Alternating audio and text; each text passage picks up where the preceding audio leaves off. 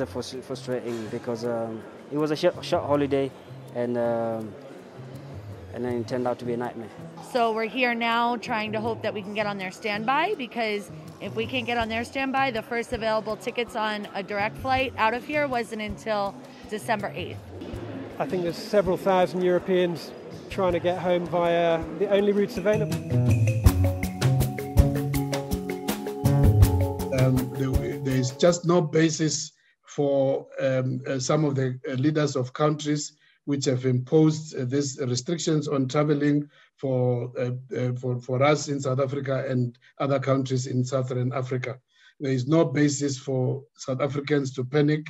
We've been here before. We call upon these countries that have imposed travel bans on our country and our other Southern African sister countries to immediately and urgently reverse their decisions and lift the bans they have imposed before any further damage is done on our economies and to the livelihoods of our people.